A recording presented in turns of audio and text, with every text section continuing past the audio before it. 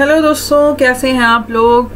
मैं आशा करती हूँ कि आप बहुत ही अच्छे होंगे बहुत ही स्वस्थ होंगे बहुत ही मस्त होंगे। और आज का जो हमारा सेशन है वो बायोलॉजी के 1500 सौ को हम लोग आगे बढ़ाने वाले हैं। तो चलिए शुरू करते हैं दोस्तों आज का अपना ये सेशन हम लोग और मैं एक बार चेक कर लूँ। मेरी आवाज़ आपको क्लियर जा रही है या नहीं जा रही है? इसको एक बार देख लेते हैं। आ, ओके एक बार इसको चेक कर लेते हैं दोस्तों, उसके बाद हम अपनी क्लास को स्टार्ट करेंगे। हम्म। ओके ठीक है। मुझे लगता है मेरी वॉइस आपको क्लियर जा रही है और आज का जो हमारा क्लास है दोस्तों, उसमें हम लोग पंद्रह सौ एम सी स्टार्ट करने वाले हैं। एक बार मैं इसको शेयर कर दूँ सभी लोगों के साथ, ताकि सभी लोग क्लास में आ जाएँ। जो भी हमारा लाइव क्वेश्चन है, वो हम लोग देख सकें।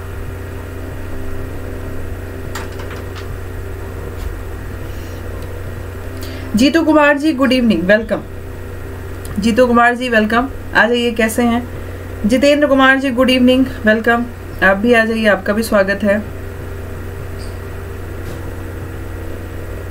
ओके okay, मुझे बता दीजिए सभी लोग मेरी आवाज़ क्लियर आ रही है आपको क्या? मेरे ख्याल से मेरी आवाज़ आपको क्लियर ही होगी. तो चलिए शुरू करते हैं हम अपना आज का जो सेशन है ये. और हम सबसे पहले क्वेश्चन से हम स्टार्ट करेंगे दोस्तों। ओके पंद्रह सौ एम सी क्यू का एक सीरीज़ चल रहा है बायोलॉजी का, वो हम लोग कंप्लीट करने वाले हैं। तो चलिए स्टार्ट करते हैं दोस्तों, सबसे पहले क्वेश्चन से देखते हैं। पहला क्वेश्चन पूछा गया दोस्तों what is the term use for process of pollination by birds यहाँ पे बोला गया है कि जब बर्ड्स में पॉलिनेशन प्रक्रिया बर्ड्स करती हैं, परागकण का ट्रांसफ़र जब बर्ड्स करते हैं तो उसे हम लोग क्या कहते हैं? उस टर्म को हम क्या कहते हैं? ये पूछा गया है यहाँ पे।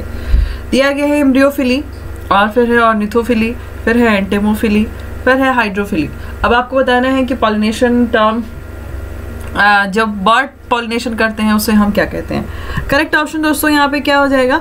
यहाँ पे करेक्ट हो जाएगा ऑर्निथोफिली सेकेंड ऑप्शन आपका करेक्ट हो जाएगा, ठीक है? याद रखिएगा। ऑर्निथोफिली का मतलब क्या होता है? जब चिड़िया परागकण को इधर से उधर ट्रांसफ़र करे, ठीक है?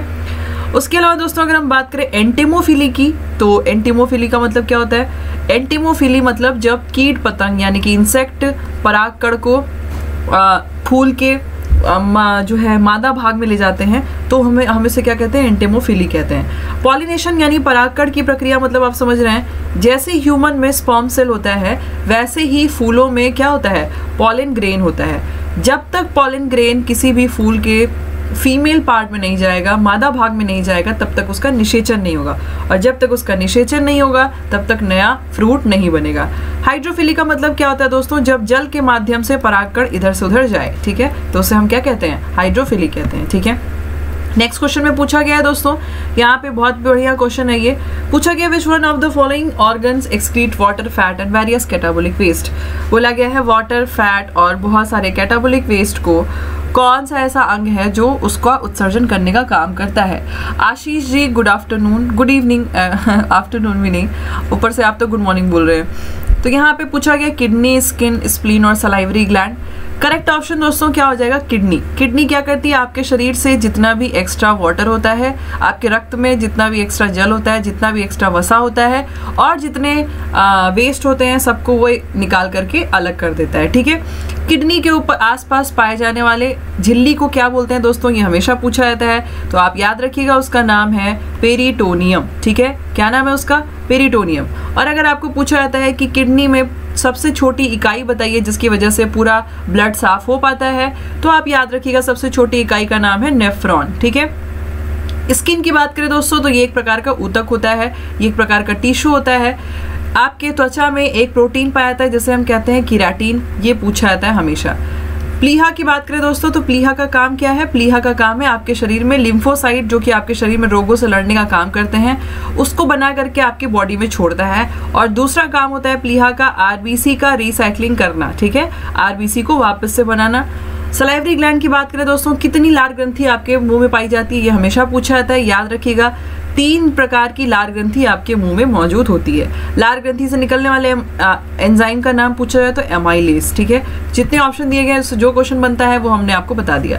Trace metal present in insulin insulin में कौन सा ऐसा ट्रेस मेटल है जो कि पाया जाता है? लोहा जिंक कोबाल्ट और मैग्नीज करेक्ट ऑप्शन दोस्तों क्या हो जाएगा? जिंक पाया जाता है है ना? यहाँ पे आपका सेकेंड ऑप्शन करेक्ट हो जाएगा ब्रिजेश राठौर जी जैसे ही आप लोग नेक्स्ट क्वेश्चन की ओर बढ़ें, मुझे जल्दी से आप आंसर बता दीजिएगा ठीक है दोस्तों? जॉर्डन नहीं आ, मेरा सब्जेक्ट बस बायो और केमिस्ट्री है ठीक है?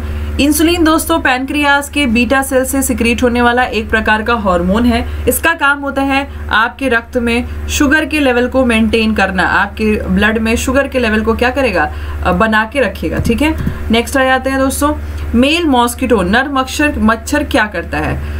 खून चूसता है sucking blood feed on plant juices पौधे के रस में, रस को अपने भोजन के तौर पर यूज़ करते हैं। उसके बाद है स्प्रेड इंसेफिलाइटिस बोला गया है, वो इंसेफिलाइटिस ठीक है?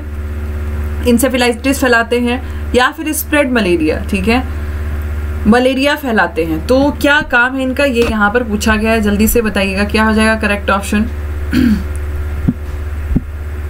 ये बहुत अच्छा क्वेश्चन है दोस्तों, बताइए।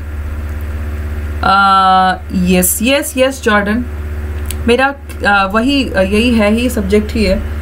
आशीष थोड़ा स्लो चलो ना। ठीक है ना, आशीष? थोड़ा स्लो ही चलेंगे, कोई दिक्कत नहीं है। यस ओके ओके रविशंकर और जितेंद्र का आंसर आया है। करेक्ट है दोस्तों। जो नर मच्छर होता है, जो मेल मच्छर होता है, वो क्या करता है? पौधे में जो उसकी पत्तियाँ होती हैं, उनका रस जिसको हम बोलते हैं सैप ठीक है, जिसको हम बोलते हैं प्लांट सैप ठीक है? पत्तियों में एक रस पाया था जिसे हम कहते हैं प्लांट सेप या रसधानी कहते हैं। ये मच्छर जो है उसको खा करके अपना न्यूट्रिशन पूरा कर लेते हैं। इसी वजह से वो वो उसको पौध बहुत सारी फ़सलों को भी खराब कर देते हैं ठीक है? दूसरा प्रश्न है दोस्तों where is the pineal gland situated अब यहाँ पर पूछा गया है कि कहाँ पे पीनियर ग्रंथि होती है। जल्दी बताइएगा। ओके okay, जॉर्डन आप मेरी क्लास में लगातार आ सकते हैं। क्लास हमारी पंद्रह सौ एम का सीरीज़ चल रहा है। तो जल्दी बताइएगा, पीनियर ग्रंथि कहाँ होती है? लीवर में, ब्रेन में, किडनी में या फिर गर्भाशय में? आशीष जी हाँ बिल्कुल आशीष का आंसर करेक्ट है। सेकंड ऑप्शन करेक्ट हो जाएगा। पीनियल ग्रंथि जिसको हम अपने शरीर की तीसरी आँख भी कहते हैं। ब्रिजेश वेरी गुड बहुत अच्छे। तीसरी आँख इसे कहा जाता है? जितेंद्र हाँ वेरी गुड रविशंकर बहुत अच्छे। ये पीनियल ग्रंथि आपके शरीर में बहुत सारे ऐसे हार्मोन निकालती है, जिसके वजह से आपके शरीर का बायोलॉजिकल क्लॉक मेंटेन रहता है। बायोलॉजिकल क्लॉक मतलब समझते हैं मतलब आप एक टाइम से सो जा रहे हैं, एक टाइम से आपको भूख लग जा रही है तो वो एक सेट हो गया है क्लॉक क्लॉक जैसा आपने अपनी बॉडी को बनाया है। तो ये इससे एक ऐसा केमिकल एक ऐसा हार्मोन सिक्रीट होता है, जिसे हम कहते हैं मिलाटोनिन ठीक है? मिलाटोनिन एक ऐसा हार्मोन होता है, जो पीनियल ग्रंथि से पीनियल ग्रंथि, जो कि आपके ब्रेन में मौजूद है, वहाँ से सिक्रीट होगा। इसकी वजह से आपका स्लीप साइकिल मूवमेंट बरकरार रहता है। जैसे अगर आप जिस टाइम भी सो सोने की आदत बना ली है, उस टाइम पे आपको उसी वजह से नींद आ जाती है, ठीक है? नेक्स्ट आते हैं दोस्तों which of the following cell secrete insulin यहाँ बोला गया इंसुलिन का शाव कौन करता है? जल्दी से बताइएगा इंसुलिन का शाव कौन करता है? Alpha cell delta cell nerve cell और बीटा सेल अभी हम लोग इसके बारे में बात किए दोस्तों इंसुलिन पैनक्रियाज से निकलने वाला एक प्रकार का, क्या है आपका? हार्मोन है, ठीक है? हाँ Brijesh very good pineal, hypothalamus और पिट्यूटरी ये तीनों एक साथ वहाँ पे मौजूद होते हैं। एक पास मौजूद हैं, पर काम सबका अलग अलग है, ठीक है? हाँ yes very good very good Ravishankar ji, सही कहा आपने, यही बात हम लोग बता रहे थे। हाँ तो यहाँ पे करेक्ट क्या हो जाएगा आपका? ये गलत आंसर दिया है, यहाँ पे बीटा सेल करेक्ट हो जाएगा। बीटा सेल से इंसुलिन जो है ना, वो रिलीज़ होता है। नेक्स्ट आते हैं दोस्तों in the human body fat are store in मानव शरीर में वसा कहाँ पे संग्रहित होता है? आपको ये बताना है। जॉर्डन, मेरा अभी कोर्स आपको अन अकेडमी पे रेलवे कैटेगरी में मिलेगा। पर उसके बावजूद भी अगर आप चाहते हैं क्वेश्चन सॉल्व करना तो आप एम सी क्यू यहाँ से सॉल्व कर सकते हैं, ठीक है? मानव शरीर में वसा कहाँ संग्रहित किया जाता है? क्वेश्चन नंबर लिखते हुए बताइएगा, ठीक है? आप लोग डायरेक्ट आंसर लिखेंगे तो मेरी समझ में नहीं आएगा कि आप किस क्वेश्चन का आंसर लिख रहे हैं। ठीक है तो इसके लिए आप क्वेश्चन नंबर लिख के बताइएगा। तो यहाँ पे करेक्ट क्या है दोस्तों? एडिपोस टिश्यू एडिपोस टिश्यू में हाँ सातवें का बी रविशंकर बहुत अच्छे, ध्रुव कुमार बहुत अच्छे। एडिपोस टिश्यू कहाँ कहाँ होती है? आपके लीवर में होती है और आपके मसल्स में, यानी कि आपके मांसपेशियों में पाई जाती है, ठीक है? तो यहीं पे क्या होता है? सारा जो भी फैट होता है, यहीं पे इकट्ठा होता है, ठीक है? नेक्स्ट आते हैं reagent use to test the presence of starch in leaves बोला गया है कि पत्तियों में आ, अगर हमें स्टार्च का प्रेजेंस चेक करना है तो कौन सा रिएजेंट ऐसा है जिसका प्रयोग कर सकते हैं? ये भी बढ़िया क्वेश्चन है दोस्तों। बताइएगा। ऐसा कौन सा रिएजेंट है जिसका प्रयोग हम लोग कर सकते हैं? ये भी अच्छा क्वेश्चन है। जल्दी से बताएँ। क्या हो जाएगा ब्रिजेश आठवें का आंसर करिए। ओके ब्रिजेश आशीष ध्रुव पिछले वाले का सेवेंथ का आंसर सभी लोगों ने सही किया है। यस यस चलिए। अभी इसका बता दीजिए करेक्ट क्या हो जाएगा दोस्तों? आयोडीन सोल्यूशन ध्रुव कुमार हाँ बहुत अच्छे। आयोडीन सोल्यूशन अगर किसी भी चीज़ में स्टार्च रहेगा, आप आयोडीन सोल्यूशन अगर उसमें मिला देंगे तो कौन सा कलर आएगा? डार्क ब्लू कलर आता है, ठीक है? गहरा नीला रंग जो है ना, वो उसमें आएगा, ठीक है? याद रखिएगा। अगर हम बात करें दोस्तों फेलिंग सोल्यूशन की फेलिंग सोल्यूशन से क्या होता है? आप शुगर का पता लगा सकते हैं, ठीक है? मिलन और बेंडिक्ट, ये जो है ना आपको प्रोटीन का पता लगाने की में मदद करता है, ठीक है? याद रखिएगा। आयोडीन सोल्यूशन हम लोग कैसे बनाते हैं दोस्तों? मैं आपको बता दूँ, इसमें हम लोग पोटेशियम आयोडाइड और एन दो चीज़ें जब मिक्स करते हैं तो जाके ये आपका फॉर्म होता है, ठीक है? नेक्स्ट आते हैं दोस्तों malaria can be cured with a drug extracted from malaria को आप लोग कैसे बना सकते हैं? किससे निकाल करके दवा हम लोग इसका फॉर्म कर सकते हैं? Belladonna cinchona tree oak tree और फिर नीम ट्री ये इजी प्रश्न है दोस्तों, बताइएगा क्या हो जाएगा इसका करेक्ट आंसर ये बढ़िया क्वेश्चन है। जल्दी बताएँ। यहाँ बोला गया है, मलेरिया को आप एक ड्रग से क्योर कर सकते हैं। उस ड्रग का आपको नाम बताना है। दोस्तों सिंकोना पौधे का से, की छाल से निकाला जाता है। दवा का नाम है। दवा का नाम बताइएगा। मलेरिया के दवा का नाम आप ही मुझे बता दीजिएगा। बहुत ही करंट क्वेश्चन है ये तो आप बता सकते हैं। The substance use to bring down body temperature in high fever बोला गया है, जब किसी को बहुत तेज बुखार चढ़ता है तो जिस चीज़ से बुखार सही हो सकता है, उसे हम क्या कहते हैं? ये बहुत अच्छा प्रश्न है।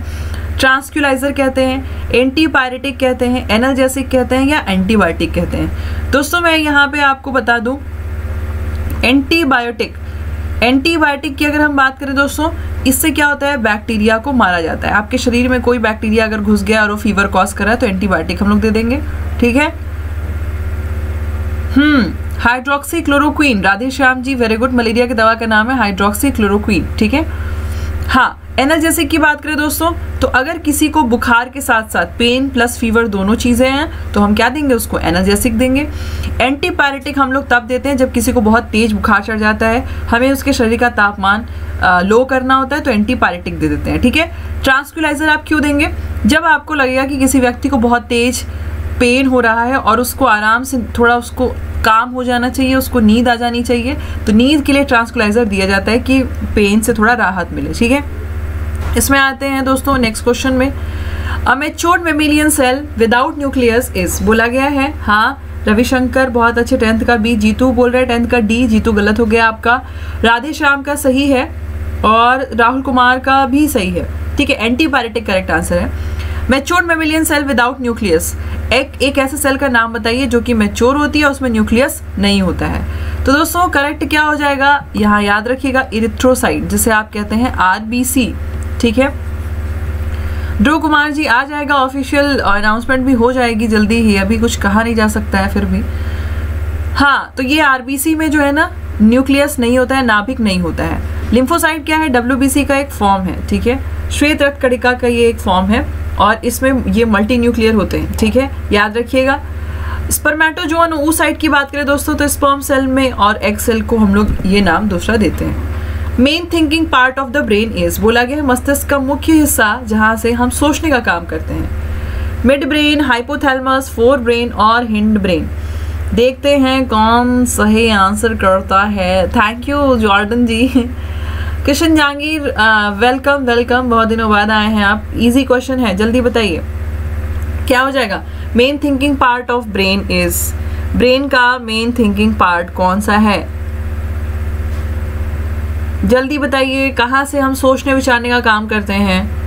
ट्वेल्थ का सी बता रहे हैं रविशंकर और जॉर्डन का कहना है हाइपोथैलमस से सोचते हैं। जॉर्डन, आप गलत जगह से सोच रहे हैं। हाइपोथैलमस सोचने में मदद नहीं करता है। जीतू कह रहे हैं फोर आगे वाले दिमाग से सोचते हैं। राधे श्याम कह रहे हैं कि हम तो एकदम पीछे दिमाग से सोचते हैं। हिंड ब्रेन से सोचते हैं। पश्चिम मस्तिष्क से कह रहे हैं। ध्रुव कुमार जी कह रहे हैं हाइपोथैलमस से। अरे भाई, जहाँ से सोचना है वहीं से सोचो। दिमाग के किसी भाग से सोच लोगे तो सोच पाओगे, ये पॉसिबल नहीं है। फोर ब्रेन जिसे हम कहते हैं अग्र मस्तिष्क ठीक है? वहाँ से सोचने का काम करते हैं हम लोग। सारी हमारी जो मेन थिंकिंग पार्ट है, वो फोर ब्रेन से, ठीक है? याद रखिएगा। अभी वही बात करें हाइपोथैलमस की तो हाइपोथैलमस से सिर्फ़ हम लोग क्या कर सकते हैं? यहाँ से हमें पता चलता है कि हम भूखे हैं या प्यासे हैं। हंगर और थ्रस्ट पॉइंट ये है, ठीक है? और आपके शरीर का समस्थैतिकता यानी होम्योस्टेसिस मेंटेन करता है। होम्योस्टेसिस मेंटेन करने का क्या मतलब है? आपके शरीर में आयंस वगैरह प्रॉपर है कि नहीं? वाटर लेवल प्रॉपर है कि नहीं? ये सब हाइपोथर्मस चेक करता रहता है, ठीक है? हाइपोथैलेमस उल्टा पिट्यूटरी को कंट्रोल भी करता है, ठीक है? मतलब पीयूष ग्रंथि को कंट्रोल भी यही करता है। अगर आप लोगों के दिमाग में ये है कि पश्चिम मस्तिष्क से सोचने वाला काम करते हैं तो पश्चिम मस्तिष्क मदद करता है इस काम के लिए कि आपके बॉडी का कंट्रोल और कोऑर्डिनेशन रहे। आप बॉडी लेकर के अपना सीधे बैठ पा रहे हैं, सीधे बात कर पा रहे हैं तो आपके कंट्रोल में रहे बॉडी उसके लिए हिंड ब्रेन मदद करता है, ठीक है? नेक्स्ट आते हैं दोस्तों। एंजाइम क्या होते हैं? नेचर में ये पूछा गया है। बताना है आपको माइक्रो ऑर्गेनिज्म होते हैं प्रोटीन होते हैं इनऑर्गेनिक कंपाउंड्स होते हैं या फिर विटामिन होते हैं। इसका करेक्ट आंसर सभी को पता होगा दोस्तों। एंजाइम जो होता है वो विटामिन होता है ठीक सॉरी विटामिन कह रहे हैं हम। गल, गलत आंसर दिया है इसमें। प्रोटीन होता है ठीक है? जितने भी एंजाइम होते हैं वो नेचर वाइज क्या होते हैं? प्रोटीन होते हैं।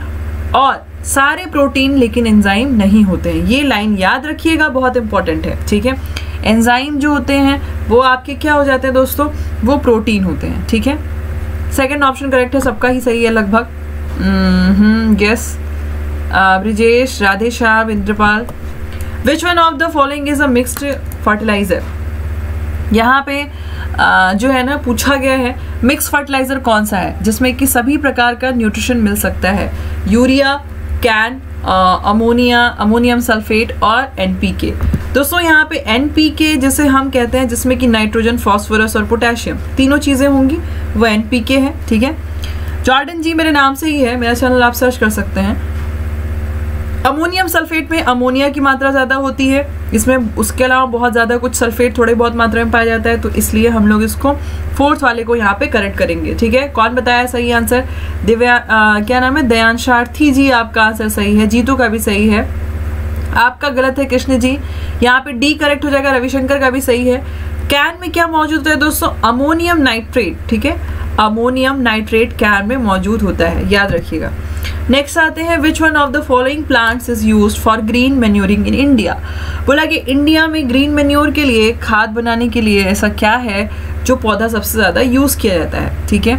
वीट सन हेम्प कॉटन और राइस इजी क्वेश्चन है जल्दी बताइएगा। जॉर्डन जी बताया तो मेरे ही नाम से है आप मेरे ही नाम से सर्च कर लीजिएगा मेरा नाम है अनुराधा सिंह। हाँ ये भी बढ़िया क्वेश्चन है। ओके hmm, तो यहाँ पे दोस्तों हम लोग सन हेम्फ को बहुत यूज़ करते हैं। सन हेम्फ जो है, ये एक ऐसा प्लांट है जिसका यूज़ किया जा सकता है बहुत ज़्यादा जो है ना ग्रीन मेन्योर बनाने के लिए, खाद बनाने के लिए, ठीक है? नेक्स्ट में आते हैं दोस्तों हम लोग। हम्म इंद्रपाल जी सही है। यहाँ बोला गया है heat treatment applied to milk before distribution to stabilise and to remove disease causing is call यहाँ क्वेश्चन है कि गर्मी मतलब हीट ट्रीटमेंट जो दिया जाता है, जैसे बैक्टीरिया के सारे वायरसेस वगैरह मर जाएँ, सारे सॉरी मिल्क के सारे बैक्टीरिया मर जाएँ, उसके लिए हम लोग जो प्रोसेस यूज़ करते हैं, वो क्या कहलाता है, ठीक है? यहाँ पे है पाश्चुरीकरण, यहाँ पे पाश्चुरीकरण कर लीजिएगा इसको, फिर है फर्मेंटेशन फिर है कोगुलेशन तो यहाँ पे करेक्ट क्या हो जाए दोस्तों? पास्चुराइजेशन पास्चुराइजेशन एक ऐसा प्रोसेस है जिसमें हम लोग दूध में बैक्टीरिया बहुत लंबे समय तक पनप न पाए। उसके लिए हम लोग क्या करते हैं? खूब हाई टेम्परेचर देते हैं दूध को एक बार 90 से 97 डिग्री सेंटीग्रेड तक टेम्परेचर देते हैं। फिर हम लोग उसको एकदम से कूल कर देते हैं। हम उसे दो से चार डिग्री सेंटीग्रेड के बीच में टेम्परेचर देते हैं। तो बैक्टीरिया को ना हीट शॉक ट्रीटमेंट लग जाता है। उसको एकदम से गर्म और एकदम से ठंडा मिल जाता है, जिसकी वजह से वो बैक्टीरिया मर जाते हैं, ठीक है? और आप दूध लंबे समय तक कहीं भी ट्रांसपोर्ट कर सकते हैं, ठीक है? फर्मेंटेशन की बात करें दोस्तों तो किड़वन में क्या होता है? किड़वन में किसी भी चीज़ को सड़ाया जाता है, ठीक है? जैसे कि आप वाइन दारू, ये सब सुने होंगे कि किड़वन के द्वारा ही वो आपको प्राप्त हो सकती है। तो किड़वन में किसी चीज़ को सड़ाया जाता है, खास करके ग्लूकोज को सड़ाया जाता है और ईस्ट की उपस्थिति में सड़ाया जाता है, तभी जाकर के कुछ बन सकता है, ठीक है? नेक्स्ट चलते हैं दोस्तों। हाँ Radhe Shyam ji very good Louis Pasteur नाम के साइंटिस्ट थे, जिन्होंने पास्चुराइजेशन प्रोसेस या पास्चुरीकरण के बारे में बताया था। इसमें आते हैं दोस्तों, बोला गया है which of the following is a monogenic parasite निम्नलिखित में से कौन सा मोनोजेनिक पैरासाइट है? हाइड्रा फैसियोला स्कैरिस और अर्थवॉ इस क्वेश्चन का आंसर करने के पहले मुझे आपको ये बताना होगा कि मोनोजेनेटिक जेनेटिक पैरासाइट क्या होते हैं। दोस्तों मोनोजेनेटिक पैरासाइट का मतलब क्या ये होता है, बहुत सारे ऐसे जो है पैरासाइट होते हैं। पैरासाइट सबसे पहले आपको समझना होगा, परजीवी क्या होता है। परजीवी मतलब जिसके पास ऐसी क्षमता ना हो कि वो अपना भोजन स्वयं बना सके। वो अपने भोजन के लिए दूसरे पे डिपेंड रहता है, ठीक है? उसे हम पैरासाइट कहते हैं, पहली बात। दूसरी बात, परजीवी उसी को कहा जाता है जो दूसरे के शरीर के अंदर रहे और उसके शरीर से अपना खाना प्राप्त करता है, ठीक है? मोनोजेनेटिक का मतलब क्या होता है? जो एक ही जीव के अंदर घुस रहा है और अपनी पूरी लाइफ साइकिल पूरा करके मर के तब खत्म हो जा रहा है, ठीक है? लेकिन बहुत सारे ऐसे भी होते हैं जो एक बार किसी और जीव में रहेंगे फिर दूसरे टाइम अपना जीवन का आधा समय किसी और जीव के अंदर बिताएँगे और जीवन का दूसरा आधा समय किसी और जीव के साथ बिताएँगे। जीव के अंदर बिताएँगे ठीक है? तो वो आपका क्या कहलाते हैं? डाई जेनेटिक कहलाते हैं ठीक है? तो आप इसका मतलब समझिएगा। मोनोजेनेटिक मतलब अप, पूरा अपना जीवन काल एक ही किसी जीव के अंदर घुस के बिता दे रहे हैं और वो खत्म हो जा रहे हैं और डाइजेनेटिक मतलब जो आप चेंज करते रहें, ठीक है?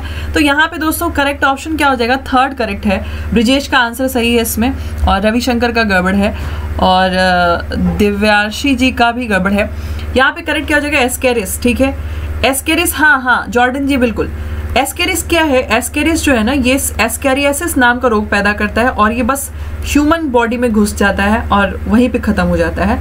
लेकिन फैसियोला की बात करें दोस्तों तो फैसियोला इंसानों को भी इफ़ेक्ट करते हैं ह्यूमन को भी इफ़ेक्ट करते हैं और गाय भैंसों को भी इफ़ेक्ट करते हैं, ठीक है? इसलिए यहाँ पे एस्केरिस करेक्ट हो जाएगा। दूसरा क्वेश्चन है दोस्तों बायोमैग्निफिकेशन इम्प्लाइज बोला गया है बायोमैग्निफिकेशन में क्या होता है? Toxic matter are magnified living beings are magnified light is magnified food is magnified तो क्या प्रॉब्लम आती है बायो मैग्निफिकेशन में? तो करेक्ट आंसर दोस्तों यहाँ पे क्या हो जाएगा? बायो मैग्नीफिकेशन का मतलब हो गया कि शरीर में किसी जहरीले चीज़ का इकट्ठा होते जाना, ठीक है? कैसे शरीर में कोई जहरीली चीज़ जाएगी? खाद्य श्रृंखला के द्वारा। जैसे अगर मान लीजिए आपने कोई ऐसा दवा खिलाया है गाय भैंस को, जिससे उसके दूध का उत्पादन बढ़ जाए, ठीक है? आपने गाय भैंस को डाइफ्लेक्रॉन जो है ना, वो खिला दिया है, ठीक है? अब वो गाय भैंस मरी, आप कहीं पर ले जा करके उसको फेंक दिए, ठीक है? उस डाइफ्लेक्रॉन के अंदर जो भी केमिकल था, वो ऐसा था कि वो गल नहीं सकता अपने आप।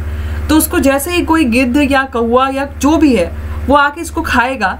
गिद्ध ही ज़्यादा खाते हैं, वल्चर ज़्यादा खाते हैं जानवरों को। तो वल्चर्स के शरीर में चला गया वो, गाय से अब कहाँ चला गया? पहले तो गाय के शरीर में इकट्ठा होता गया, फिर अब वो वल्चर्स में चला गया। तो ये क्या हुआ? खाद्य श्रृंखला के द्वारा बायो मैग्निफिकेशन हो गया।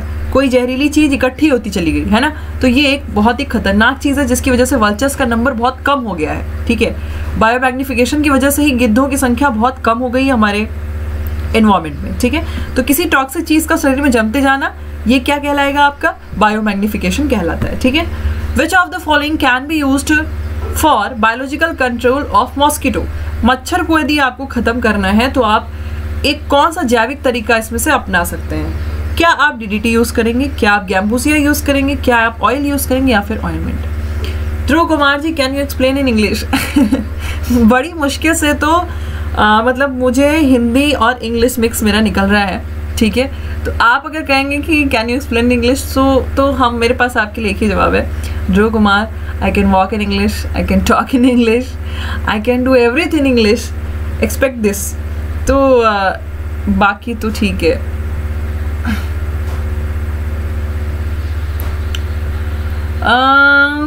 यस गैम्ब्यूसा नाम की एक मछली होती है। ये क्या कर सकती है?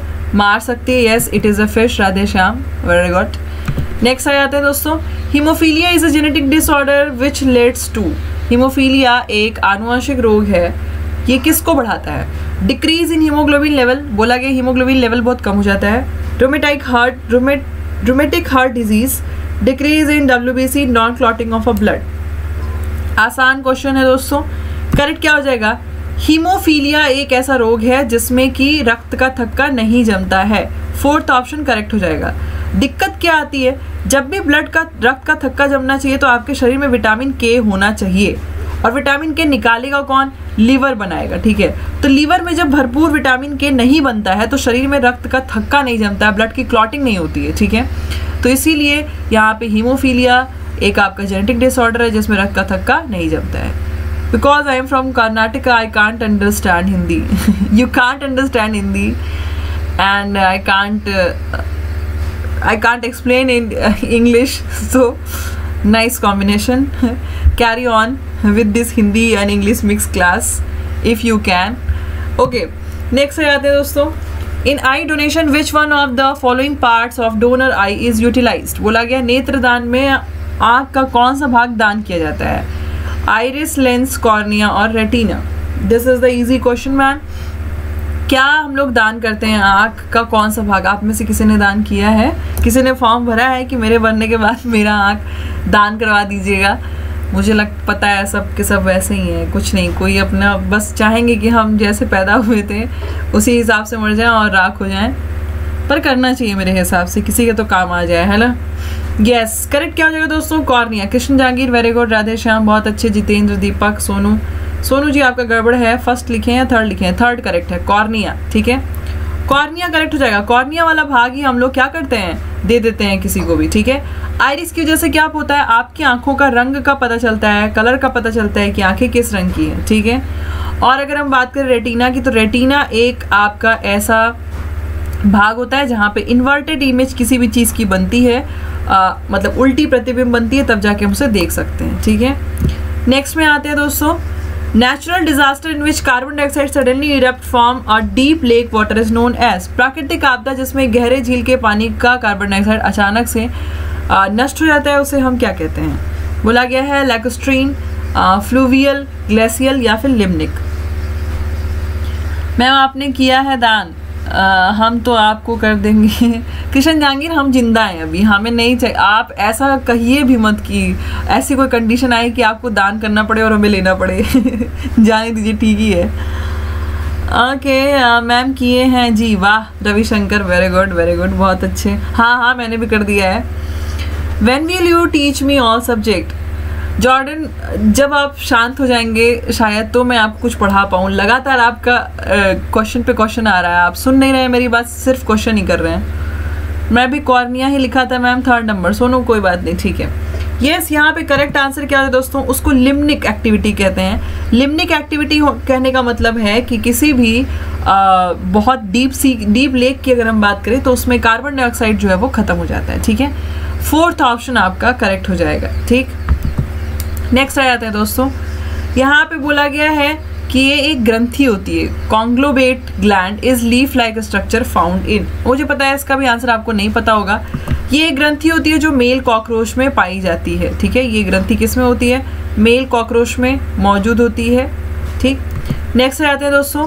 Curcumin is isolated from curcumin को कहाँ से प्राप्त किया जा सकता है? गैलिक टर्मरिक सनफ्लावर और रोज फ्लावर बोला गया है कर्क्यूमिन को हम गैलिक से प्राप्त कर सकते हैं, हल्दी से, सूरजमुखी से या फिर गुलाब के फूल से। ये भी बढ़िया क्वेश्चन है। आप बताइएगा। आप जल्दी से आंसर करिए इसका, क्या हो जाएगा? कर्क्यूमिन इज़ आइसोलेटेड फ्रॉम दोस्तों, इसका करेक्ट आंसर क्या हो जाएगा? कर्क्यूमिन हम लोग हल्दी में हमें ये प्राप्त होता है बी करेक्ट हो जाएगा। ठीक है, Rajni ji very good very good बहुत अच्छे। सेकेंड ऑप्शन करेक्ट हो जाएगा। ठीक है, याद रखिएगा। नेक्स्ट चलते हैं teeth and bone acquire strength and rigidity from. दांतों और हड्डियों को कठोरता कहाँ से प्राप्त होती है? ठीक है? कैल्शियम से, फ्लोरीन से क्लोरीन से या फिर सोडियम से? अब इसका करेक्ट आंसर बताइएगा। कहाँ से दांतों और हड्डियों को कठोरता प्राप्त होती है? बहुत अच्छा बहुत आसान क्वेश्चन है। जॉर्डन जॉर्डन कोई बात नहीं, पढ़ लीजिए पढ़ लीजिए थोड़ा सा पढ़ लीजिए, उसके बाद में हम लोग आपके सारे डाउट का आंसर कर देंगे। अभी पहले बताइए, यहाँ पे करेक्ट क्या हो जाएगा? रविशंकर जी बी बता रहे हैं, और समर अंसारी का कहना है कैल्शियम होगा, आशीष का कहना है फ़र्स्ट होगा, ध्रुव का कहना है थर्ड होगा राधे श्याम का कहना है कैल्शियम होगा ओके मेन चीज़, अगर हम बात करें जो है, जो मतलब मजबूती देता है वो आपका क्या है? कैल्शियम है, ठीक है? कैल्शियम से मजबूती प्राप्त होती है, ठीक है? नेक्स्ट आ जाते हैं। The hormone use as an oral contraceptive is बोला गया है कि ऐसा कौन सा हार्मोन है जिसको अगर शरीर में इंजेक्ट करा दिया जाए तो कॉन्ट्रासेप्शन यानी कि गर्भ निरोधन हो सकता है। उस हार्मोन का नाम बताइए जो प्रेगनेंसी अवॉइड करवा सकता है, वो पूछा गया है। कॉर्टिसोन प्रोजेस्ट्रॉन टेस्टोस्टेरॉन या फिर एल्डोस्टेरॉन। मेरा भी नाम ले लो दीपक कुमार। ले लिया सॉरी दीपक मीना जी आपका भी नाम ले लिया। जल्दी बताइएगा इसका क्या हो जाएगा करेक्ट आंसर इजी क्वेश्चन है। आ, ऐसा कौन सा केमिकल है जिसको आ, कौन सा हार्मोन है जिसको बॉडी में दिया जाए? तो कॉन्ट्रासेप्शन हो सकता है। प्रोजेस्ट्रॉन ठीक है दोस्तों? सेकेंड ऑप्शन करेक्ट हो जाएगा। अगर प्रोजेस्ट्रॉन का हाई लेवल बॉडी में कर दिया गया हाँ जॉर्डन वेरी गुड और किसका आंसर सही हुआ है? मेरे ख्याल से और किसी का भी सही नहीं हुआ है। बी करेक्ट हो जाएगा। प्रोजेस्ट्रॉन शरीर में अगर ज़्यादा मात्रा में दे दिया जाए ना, गुंजन वेरी गुड जितेंद्र कुमार जी बहुत अच्छे हाँ तो क्या होगा? गर्भ निरोधन हो सकता है, ठीक है? बी ऑप्शन आपका करेक्ट हो जाएगा। एल्डोस्टेरोन किस तरीके का हार्मोन है दोस्तों? ये पीयूष ग्रंथि से निकलने वाला एक प्रकार का हार्मोन है। कोई बात नहीं रजनी रो मत यार। इसको हम लोग दूसरे एक और इसका एक काम क्या होता है? इस, इसको हम लोग जो है ना एडीएच एंटी डायरेटिक हार्मोन के तौर पर भी जानते हैं। इसका काम क्या होता है? इसका काम होता है कि जब आपकी किडनी आपके खून को छानेगी उसमें से सारा पानी एब्जॉर्ब करेगी तो वहाँ पे ये मदद करता है ठीक है? नेक्स्ट में आते हैं दोस्तों at which stage in its life cycle does the silk worm yield the fibre of the fibre of commerce ये मतलब यहाँ बोला गया कि अपने कौन से लाइफ स्टेज में सिल्क को सिल्क का रियरिंग करते हैं सिल्क वॉर्म बस ये पूछा गया है, ठीक है? इजी है, बताइएगा। हाँ हाँ गुंजन जी, मैंने देख लिया आपका करेक्ट है। एग लार्वा प्यूपा या फिर इमेगो ये सब अलग अलग दोस्तों स्टेज लाइफ के स्टेज हैं ठीक है? सारे अलग अलग लाइफ स्टेज में आ, ये धीरे धीरे वृद्धि करता है। यहाँ पे पूछा गया है कि कौन से लाइफ स्टेज में सिल्क वॉर्म सिल्क का रियरिंग कर सकता है। रजनी का कहना है बी करेक्ट हो जाएगा। समर का भी बी है। अजीत का भी बी करेक्ट आंसर है। यस यस यस दोस्तों यहाँ पे करेक्ट क्या हो जाएगा? याद रखिएगा जब वो अपने प्यूपा स्टेज में होते हैं pupa stage third option correct हो जाएगा। प्यूपा स्टेज में जब वो होते हैं ना, तब वो सिल्क का रियरिंग करना स्टार्ट करते हैं। लार्वा स्टेज में वो सिर्फ़ क्या होता है, अभी डेवलपिंग स्टेज में होते हैं प्यूपा स्टेज में वो सिल्क देना स्टार्ट कर देते हैं। Which one of the following is responsible for blue baby syndrome ये बहुत अच्छा प्रश्न है, पूछा गया है, यदि किसी को ब्लू बेबी सिंड्रोम हुआ है तो कौन सा चीज़ की अधिकता उसके बॉडी में हुई होगी? फ्लोराइड नाइट्रेट आर्सेनिक और शीशा। दोस्तों लेड अगर आपकी बॉडी में चला गया ना तो आपको नर्व सिस्टम से रिलेटेड प्रॉब्लम होगी। यानी कि आपको तंत्रिकाओं में बहुत ज़्यादा प्रॉब्लम हो जाएगी। आपकी जो ब्रेन और पूरे बॉडी में फैला रहता है, उसमें दिक्कत आ जाएगी। आर्सेनिक की अधिकता से दोस्तों ब्लैक फुट नाम का एक रोग होता है, ठीक है? ब्लैक फुट नाम का एक रोग होता है, याद रखिएगा। अगर हम बात करें नाइट्रेट की दोस्तों यस यहाँ पे करेक्ट ऑप्शन सेकंड हो जाएगा। नाइट्रेट की अधिकता से ब्लू बेबी सिंड्रोम होता है, जिसमें बच्चे जब पैदा होंगे तो उनके शरीर में हीमोग्लोबिन के साथ प्रॉब्लम आ जाती है, हीमोग्लोबिन का मात्रा बहुत कम हो जाता है, ठीक है? वहाँ पे मिथामोग्लोबिन वो फॉर्म कर लेता है नाइट्रेट जाके उनसे अटैच हो जाता है हीमोग्लोबिन से, और बच्चे का शरीर पूरा नीला हो जाता है, जिससे बच्चे कुछ दिन बाद उनकी डेथ हो जाती है, ठीक है? अभी अगर हम बात करें दोस्तों फ्लोराइड की तो फ्लोराइड जो है, ये कौन सा रोग पैदा करेगा? अगर ये आपके शरीर में ज़्यादा चला गया तो फ्लोरोसिस नाम का रोग होता है। फ्लोरोसिस जिससे दांत और हड्डियाँ दोनों बहुत कमज़ोर हो जाती हैं। Humidity of air is measured in the percentage is called बोला गया कि जितना भी एयर में नमी है, उसको नापने के लिए हम लोग मतलब जब मेज़रमेंट करते हैं तो उस परसेंटेज को क्या कहा जाता है? Absolute humidity specific humidity relative humidity all of this correct option क्या हो जाएगा? विकास जी, कोई बात नहीं, ज़्यादा लेट नहीं हुआ है, फिर भी आपके पास अभी समय है, कर ले जाइए यस yes, दोस्तों उसको हम लोग रिलेटिव ह्यूमिडिटी कहते हैं सापेक्षिक आर्द्रता कहते हैं। अगर आपको अपने एटमॉस्फेयर में नमी नापनी है ह्यूमिडिटी नापनी है तो आप उसके लिए कौन सा इंस्ट्रूमेंट यूज़ करोगे? चलिए जल्दी से बता दीजिए कौन सा ऐसा इंस्ट्रूमेंट है जो आप प्रयोग करेंगे दोस्तों? उसका नाम है हाइग्रोमीटर ठीक है? हाइग्रोमीटर के द्वारा हम क्या कर सकते हैं? नमी का मापन कर सकते हैं। वेरी गुड वेरी गुड जिसका भी आंसर करेक्ट हुआ है। नेक्स्ट आते हैं दोस्तों, पूछा गया है which of the following is not an insectivorous plant बोला गया है, कीट बख्शी पौधा कौन सा नहीं है? ऑप्शन दिए गए नेपेंथीस यूट्रिकुलेरिया ड्रोसेरा और कास्क्यूटा यहाँ पे नॉट लिखा गया है तो नॉट वर्ड को आप बहुत ही ध्यान से देखेंगे। ठीक है दोस्तों? यस रविशंकर जी बहुत अच्छे। यहाँ पे बताइएगा, क्या हो जाएगा? कौन सा एक कीट बख्शी पौधा नहीं है? हाँ हाँ very good Rupak, Deepak ji very good Ravishankar ji hygrometer आप सही बता रहे हैं। कास्क्यूटा जो है ना, कॉस्क्यूटा, ये आपका कीट भक्षी पौधा नहीं है। नॉट बोला बोला गया है, ये कीट भक्षी पौधे की कैटेगरी में नहीं आता है, ठीक है? मैम आप अपन आप ना बायो में पीएचडी किया है, बहुत टफ क्वेश्चन पूछ रहे हो। ये टफ क्वेश्चन नहीं है, आशीष। तुम इसमें थोड़ा सा मीडियम लेवल और थोड़ा सा इजी लेवल दोनों मिला के क्वेश्चन कर रहे हो। सभी लोग मुझे एक बार बता दीजिए, क्या आपको क्वेश्चन टफ लग रहा है? मुझे नहीं लगता। एक दो क्वेश्चन आपको टफ लगे होंगे, जिसमें आपको एकदम हवा नहीं लगी होगी, वरना क्वेश्चन बहुत आसान है। बस आपने थोड़ा ध्यान से अगर पढ़ाया है तो आप कर ले जाएँगे। ऐसा कुछ भी नहीं है, ठीक है? चलिए अच्छा। नेक्स्ट आ जाते हैं हम लोग दोस्तों। दूसरे स्लाइड की ओर बढ़ते हैं। इसको मैं हटा दूँ।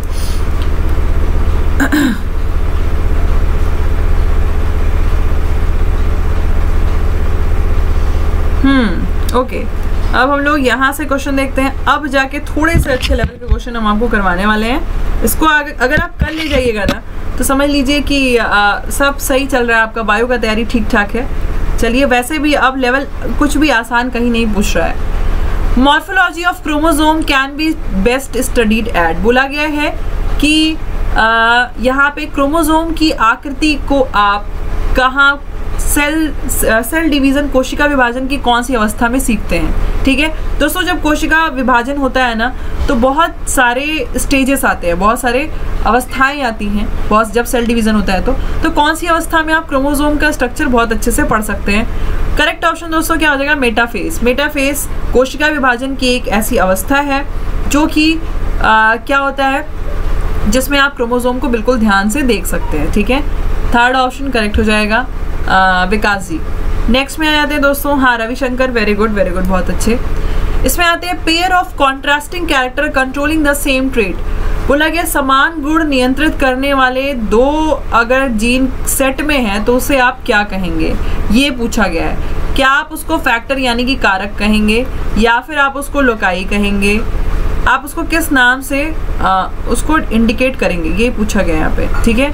तो दोस्तों करेक्ट आंसर यहाँ पे क्या हो जाएगा? एली ठीक है? याद रखिएगा इसमें क्या? हमेशा कभी भी जीन किसी भी कैरेक्टर को अपने साथ रखता है ना तो वो हमेशा सेट में होते हैं ठीक है? और जब वो सेट में होते हैं तभी जा करके वो कुछ कर पाएँगे। तभी वो अपने आप को इंडिकेट कर पाएँगे कोई किसी चीज़ को किसी तरीके के आ, कह सकते हैं कि कैरेक्टर को दिखा पाएँगे ठीक है? नेक्स्ट आ जाते हैं दोस्तों हम कौन सा रोग ऐसा है जिसे हम वाइट प्लेग कहते हैं? सफ़ेद प्लेग हम किसे कहते हैं? दिया गया टाइफाइड को। मलेरिया को ट्यूबर क्लॉसिस को या फिर एचआईवी को, ठीक है? बहुत ही ध्यान से आपको दे करके बताना है। इजी क्वेश्चन है, बताइए। दोस्तों, ध्यान से देख करके इसको बताइएगा। क्या हो जाएगा इसका करेक्ट आंसर मेरे प्यारे बच्चों।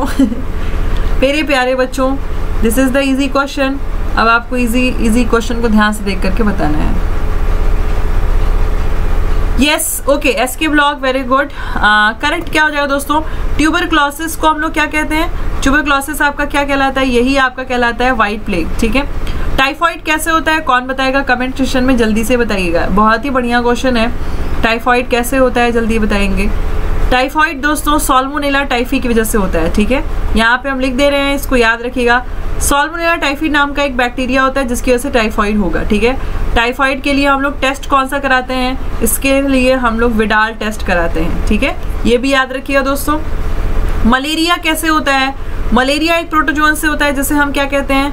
प्लाज्मोडियम कहते हैं। प्लाज्मोडियम अपना पूरा लाइफ साइकिल आपके शरीर के कौन से अंग में पूरा करता है? लीवर में, यानी कि यकृत में पूरा कर देता है, ठीक है? एचआईवी एक वायरस है जो कि एड्स नाम का रोग पैदा करता है, ये भी याद रखिएगा। नेक्स्ट आते हैं दोस्तों hearing in brain is associated with मस्तिष्क के किस भाग से आप सुनने का काम कर सकते हैं? फ्रंटल लोब मतलब बोला गया है अग्र भाग, ठीक है? फिर बोला गया ऑसिपिटल लोब यानी कि दृक पाली जिसे कहते हैं हम। दृक पाली से कहा जाता है और टेम्पोरल को हम टेम्पोरल पाली कहते हैं। ये बहुत ही अच्छा क्वेश्चन है, ठीक है? और फिर पेराइटल को पेराइटल पाली कहते हैं। अब आपको बताना है कौन से दिमाग के कौन सी पाली से आप जो है ना, कोई भी चीज़ को सुन सकते हैं। सुनने का प्रॉपर्टी आपको कहाँ से मिलता है? दिमाग के किस भाग से आप सुन सकते हैं? जल्दी बताइएगा दोस्तों, क्या हो जाएगा इसका करेक्ट आंसर ये बहुत ही आसान है। अगर आपने पढ़ा होगा ना, राहुल राज जी आपका नाम ले लिया, मेरा नाम ले लो, बहुत दिन से वेट कर रहे हैं। राहुल राज जी वेट नहीं किया करिए आंसर करेंगे तो हम खुद ही नाम ले लेंगे। ऐसा कुछ प्रॉब्लम नहीं है। सोनू कुमार, रूपक, चेतना ओके बहुत अच्छे वेरी गुड दोस्तों, बहुत बढ़िया बहुत बढ़िया। जिसको भी ये आंसर पता है मतलब कि वो ब्रेन बहुत अच्छे से पढ़ लिया मस्तिष्क को बहुत अच्छे से पढ़ा है, ठीक है? यहाँ पे क्या हो जाएगा दोस्तों टेम्पोरल लोब इससे आप सुनने का काम करते हैं, ठीक है? ऑसिपिटल की बात की जाए दोस्तों तो इससे आप देखने का काम करते हैं, जो आपकी वॉचिंग एबिलिटी है, वो दिमाग के ऑसिपिटल लोब से आती है, ठीक है? पैराइटल लोब से आप क्या कर सकते हैं दोस्तों, इससे आप इनवॉलेंट्री काम कर सकते हैं। अनैच्छिक प्रक्रियाएँ यहाँ से आप कर सकते हैं, ठीक है? नेक्स्ट आ जाते हैं। सलेज वाटर क्या है? ये भी अच्छा क्वेश्चन है दोस्तों, जल्दी से बताइएगा। Bablu Kumar ji thank you so much बस आते रहिए ऐसे ही क्लास में, ये सीरीज़ पूरा करवा दीजिए, कोई प्रॉब्लम नहीं है।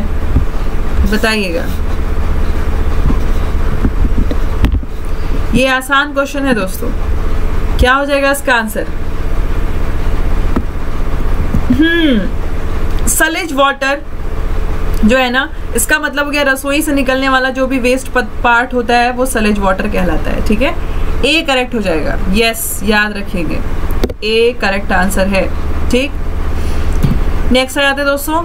यहाँ पूछा गया है कंपेनियन सेल किसमें पाई जाती हैं? I have set too many answer no no no no Jordan ऐसी कोई बात नहीं है। देखिए दोस्तों, यहाँ पे जितने भी नाम दिए गए हैं ना, ये आपको दिया गया है नाम प्लांट फाइलम का। पौधे के जितने फाइलम होते हैं, उनका नाम दिया गया है, ठीक है? यहाँ पे है ब्रायोफाइटा, टेडोफाइटा, एंजियोस्पर्म और जिम्नोस्पर्म। एंजियोस्पर्म को हम लोग क्या कहते हैं? इसे हम कहते हैं आवृत्त बीजी, ठीक है? हिंदी में से क्या कहते हैं दोस्तों? आवृत्त बीजी। जिम्नोस्पर्म को हम क्या कहते हैं? अनावृत्त बीजी, ठीक है?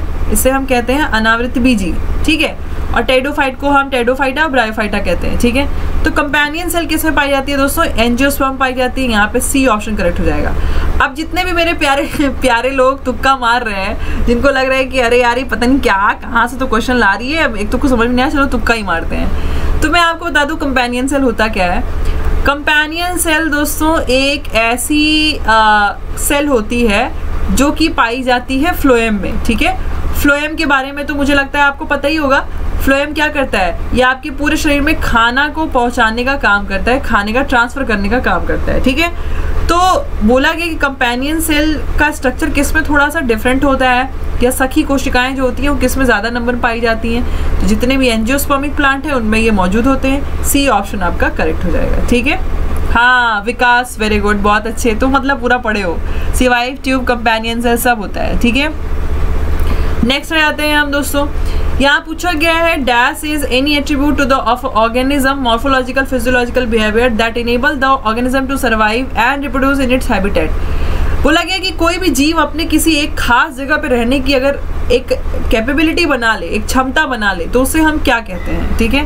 पहला बोला गया, क्या आप उसको एडाप्टेशन कहेंगे, अनुकूलन बना लेना कहेंगे, या फिर आप उसको माइग्रेशन कहेंगे, या फिर आप उसको कहेंगे कन्फर्मेशन हो गया, उसका वहीं पर रहेगा, या फिर आप उसको रेगुलेशन कहेंगे। अगर कोई भी जीव किसी एक स्पेसिफिक जगह पर रह लेता है, बिना किसी शिकायत के, उसको सब कुछ मिल जा रहा है, उसका न्यूट्रिशन पूरा हो जा रहा है तो आप मुझे बता दीजिए कि उस प्रोसेस को हम क्या कहेंगे? वेरी गुड रविशंकर रविशंकर जी आपका गड़बड़ हो गया है। आ, किसने सही आंसर किया है? प्रदीप ने सही आंसर किया है। Very good Pradeep ji. और बाकी एस के ब्लॉक का भी सही है। यस एडाप्टेशन कहेंगे आप उसको। अनुकूलन कहेंगे। कोई भी जीव जैसे आप आप इसको ऐसे समझिए ना।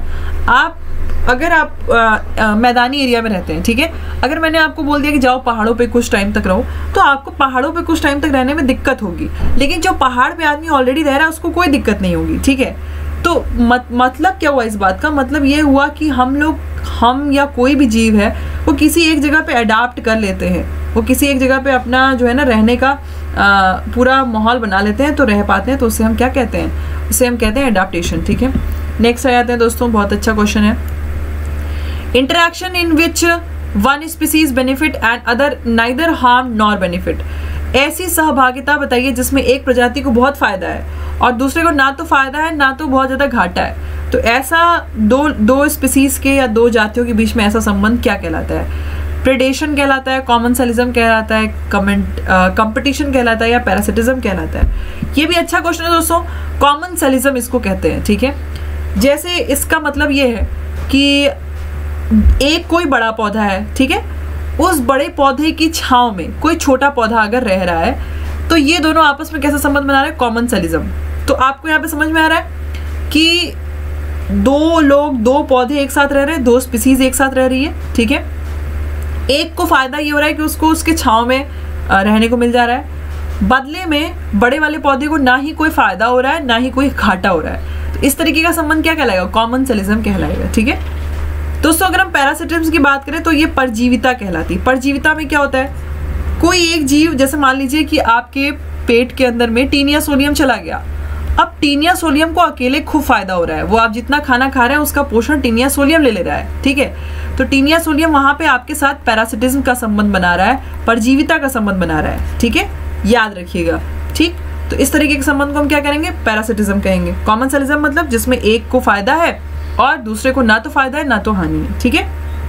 नेक्स्ट आ जाते हैं दोस्तों। यहाँ पे आते हैं। Member of phaeophyceae are commonly call red algae यहाँ पे ये क्वेश्चन थोड़ा सा स्किप कर देते हैं दोस्तों, ये कट गया है क्वेश्चन ठीक है? हम लोग दूसरे में बढ़ते हैं। हाँ यहाँ पे बोला गया है कि सभी पौधों में सोलेनम, पिटूनिया और धतूरा, इसको आप किस फैमिली में रखेंगे? ये पूछा गया है। थोड़ा धीरे धीरे हमें तो चांस दीजिए, थोड़ा रुक रुक के पढ़ाओ। अरे सॉफ्टवेयर ऑलरेडी बहुत रुक रुक के चल रहा है, गुंजन। अगर हम रुक रुक के पढ़ाने लगेंगे तो फिर पूरी क्लास के बच्चे बोर होकर भाग जाएँगे। गाली देते हुए भागेंगे ऊपर से। समझ में आया आपको? ठीक है Jordan ji commensalism same oh my gosh Jordan नाम ले लिया, आपका अभी बताएँ, यहाँ पे करेक्ट आंसर क्या हो जाएगा? पौधों में तीन अलग अलग जेनेरा है सोलेनम पिचूनिया धुतुरा किस फैमिली से बिलोंग करेंगे? करेक्ट आंसर आपका बी हो जाएगा दोस्तों सोलिनेसी फैमिली से। गुंजन सेन का आंसर सही है, विकास का भी आंसर सही है, जीतू का भी आंसर बिल्कुल करेक्ट है। इसको हम क्या कहेंगे? सोलिनेसी फैमिली से ये बिलोंग करते हैं। अब यहाँ बोला गया है multicellular organism grow by बोला गया है, एक बहुकोश की जीव द्वारा अगर मतलब वो बढ़ते हैं, वो अपना नंबर बढ़ाते हैं तो वो कैसे अपना नंबर बढ़ाएँगे? सेल एडिशन के द्वारा सेल एक्सप्लोजन के द्वारा सेल इम्प्लोजन के द्वारा या फिर सेल डिवीज़न के द्वारा? Hello Aman namaste thank you thank you Rupak Chaudhary ji, आप बी बता रहे हैं सेल एक्सप्लोजन बता रहे हैं। और भी कोई है जो बताएगा? जितेंद्र भी कह रहे हैं, बी अरे, पूरा ऑप्शन तो ध्यान से पढ़ो। इतना भी क्या जल्दी लगी है तुम लोगों को? देखो तो बहु कोश की जीव कहा है? बहुकोश की जीव मतलब समझ रहे हो किसकी बात हो रही है? प्लांट की बात हो रही है पौधों की बात हो रही है और ह्यूमन की बात हो रही है, ठीक है? तो ये लोगों में कैसे होता है? सेल डिवीज़न होता है ना? कोशिका विभाजन होता है प्रॉपर सेल एक्सप्लोजन कुछ है ही नहीं। किसी सेल में विस्फोट थोड़ी होता है। ये तो ऐसे ऑप्शन आपको भरमाने के लिए दिया गया है। हाँ याद रखिएगा, इसका डी करेक्ट हो जाएगा। बाकायदा कोशिका विभाजन होता है। सेल डिवाइड होती है, एक से चार चार से छः ऐसे बनती है। तब जा कर के हम लोग इतने बड़े होते हैं और हमारा शरीर बड़ा होता है, इस तरीके से चीज़ें हैं, ठीक है? तो ये थोड़ा सा अपने दिमाग में रखिएगा। बहुकोश की जीव सारे सेल डिवीज़न ही करते हैं, ठीक है? नेक्स्ट में आते हैं दोस्तों हम लोग। बोला गया है order primate comprising monkey gorilla and gibbon is placed in the class mammalia along with the order carnivora that include ये बोला गया है कि इनको ऑर्डर प्राइमेट है, ठीक है? उसमें मंकी गोरिल्ला और गिब्बन ये सब रखे गए हैं। ये मेमिलियन क्लास में है। अब आपको बताना है कि इसमें ऐसा कौन सा एक पेयर है जिसमें कि सारे के सारे कार्निवोरस भी आएँगे, ठीक है? तो दोस्तों, यहाँ पे सारे कार्निवोरस और मेमेलिया को अगर हम लोग देखें मतलब स्तनधारी भी हो और कार्निवोरस भी हो तो उसमें कौन कौन आ जाता है आपका? टाइगर कैट और डॉग ठीक है? ये किसमें आते हैं? इनका भी ऑर्डर प्राइमेट ही है प्राइमेट में ही आएँगे और साथ ही साथ ये मेमेलिया में भी आते हैं, स्तनधारी में भी आते हैं तो यहाँ पे आपका डी ऑप्शन करेक्ट हो जाएगा, ठीक है? Yes Ravishankar very good next आते हैं दोस्तों, ये भी अच्छा क्वेश्चन है, बहुत ईजी बहुत अच्छा प्रश्न है। बोला गया है which is the only one example of mollusca phylum mollusca phylum का कोई एक एग्ज़ाम्पल आपको बताना है। पहला ऑप्शन है लॉकस्ट दूसरा है बटरफ्लाई तीसरा है स्कॉर्पियन चौथा है ऑक्टोपस अब आप मुझे जल्दी से बताइएगा दोस्तों करेक्ट आंसर क्या हो जाएगा? रूपक चौधरी, बहुत अच्छे वेरी गुड करेक्ट आंसर यहाँ पे हो जाएगा ऑक्टोपस ऑक्टोपस मोलस्का संघ से बिलोंग करता है। एक बात अपने दिमाग में आप ये रखेंगे। दूसरी बात आप रखेंगे अपने दिमाग में ऑक्टोपस के पास एक खासियत होती है। पानी में अगर कोई भी उसका शिकार जा रहा है तो उसके पास शाही ग्रंथि होती है, इंक ग्लैंड होती है, वो उसको तुरंत एक्टिव कर देता है। और जैसे ही एक्टिव करता है, सामने वाले जो पानी में जीव जा रहा है, उसको कुछ दिखता नहीं है। पानी उतने दूर ब्लैक हो जाता है, ठीक है? तो वो उसको जाकर पकड़ के खा लेता है, ठीक है? बात करेगा लॉकोस्ट की बटरफ्लाई की और स्कॉर्पियन की। दोस्तों, ये तीनों आते हैं ऑर्थोपोडा संघ में, ठीक है? याद रखिएगा इसको किसमें आ जाएँगे? ऑर्थोपोडा में। क्लियर है आपको? याद रखिएगा। नेक्स्ट आते हैं दोस्तों, बोला गया है, किसको, कौन से फाइलम को आप फ्लैट वॉर्म के नाम से भी जानते हैं, ये पूछा गया है। क्या आप मुलस्का संघ को फ्लैट वॉर्म कहते हैं, या फिर आप कॉर्डेटा संघ को कहते हैं, या फिर आप नेटोफोरा को कहते हैं, या फिर आप प्लेटी हेलमेंथीस को कहते हैं? हाँ वेरी गुड रविशंकर जी, उसमें हीमोसाइनिन होता है, बहुत अच्छे, बिल्कुल सही कहा आपने वेरी गुड इसमें मुझे बताएगा कि कौन से फाइलम को आप फ्लैटफॉर्म भी कहते हैं? बहुत अच्छा प्रश्न है ये। थोड़ा ध्यान से आपको देखना है। फ्लैटफॉर्म मतलब चपटा क्रीमी, ठीक है? Yes Ravishankar very good Pradeep Kumar, Vikas और सेफ्रॉन, राहुल, विकास, रजनी जी, तुम्हारा आपका भी आंसर सही है सॉरी गुंजन जी हाँ बहुत अच्छे। प्लेटी थी इसमें चपटा क्रीमी सारे आ जाते हैं, ठीक है? जिनकी बॉडी एकदम फ्लैट होगी। वो फ्लैट वॉर्म में फ्लैट वॉर्म कहलाते हैं। जैसे एग्ज़ाम्पल आप बता सकते हैं इसका। एग्ज़ाम्पल क्या हो जाएगा दोस्तों? प्लेनेरिया हो जाएगा, ठीक है? और क्या हो जाएगा इसका एग्ज़ाम्पल टीनिया सोलियम कर लीजिए, ठीक है? ये भी इसके एग्ज़ाम्पल में आ जाता है, ठीक है? तो ये सब क्या होते हैं? चपटे जीव होते हैं, शरीर एकदम चपटा होता है। टीनिया सोलियम से जो रोग पैदा होता है, उसे हम क्या कहते हैं? टीनियासिस, ये बहुत ज़्यादा आपको पूछा जाता है, ठीक है? बाकी मोलस्का में पता ही है आपको, ऑक्टोपस स्नेल और अगर हम बात करें स्क्विड ये सब इसके अंतर्गत आते हैं। कॉर्डेटा मतलब जिस भी जंतु के पास रीढ़ की हड्डी होगी, वो कॉर्डेटा में आएगा, ठीक है? याद रखिएगा। नेक्स्ट में चलते हैं दोस्तों हम लोग।